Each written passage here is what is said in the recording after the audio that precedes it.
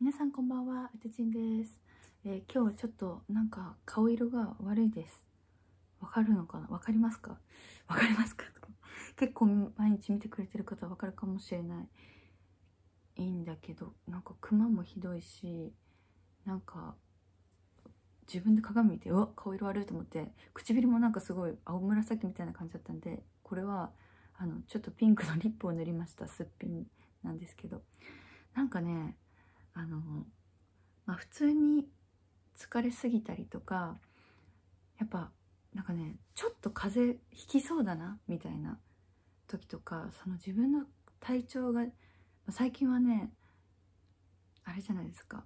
まあ、毎日体温も測るっていうのもあるし、その、感染症が流行ってるっていう世の中っていうのもあるんだけどなんかねもともと私すごい自分の体のその調子の悪いのに気づくのがすごい早い方であの早めに処置できるタイプなんですよね。あやばいかもって思ってなんか元気が出るもの食べるとか元気が出るもの飲むとかたくさん寝るようにするとかそうそうそうそういうのが今日はあの月曜日なんですけどちょっとまあがん張り切って頑張りすぎたっていうのもあってなんか来てますっていうことで今日はこれを飲んで寝ようと思います。じゃーん皆さん。見えますか？ユンケルおなんていうのこれ？大手液 DFC あ DCF ってやつであのカフェインが入ってないんですよ。だからこれ寝る前に飲んでもギーンってならないっていう。はい。これはですね。元気を出すあれです。栄養補給に需要競争的なやつ？これ3本で1600円ぐらい。だからちょっと1本500円ぐらいするからちょっと高いんだけど高いんだけど効くって感じます。でもねあんま美味しくはない。飲みますね。なんかちょっとうん。やっぱリポビタン D とかそういうやつは美味しいけどこれはあんまり美味しくない。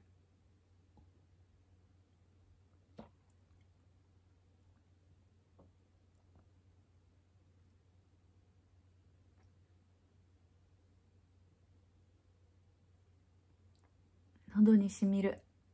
一口一気の一口じゃいけないね。あとちょっと残ってるもん。わかるかな？あとこんぐらい。今いちごくん。いちごくんでこんぐらい飲んだ。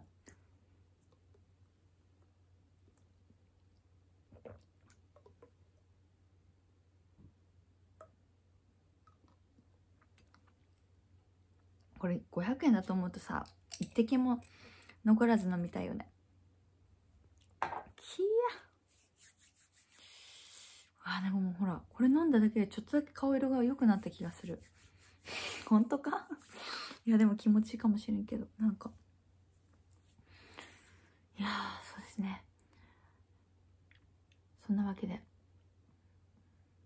皆様も今はね本当に少しの体調不良がまあ命取りというまではいかないかもしれないけどでもね自分の体の状態にちょっと敏感にいきましょうというわけで今日はこんな感じでした。すいません。ちょっとクマがひどいですけどいっぱい寝ましょう。おやすみなさい。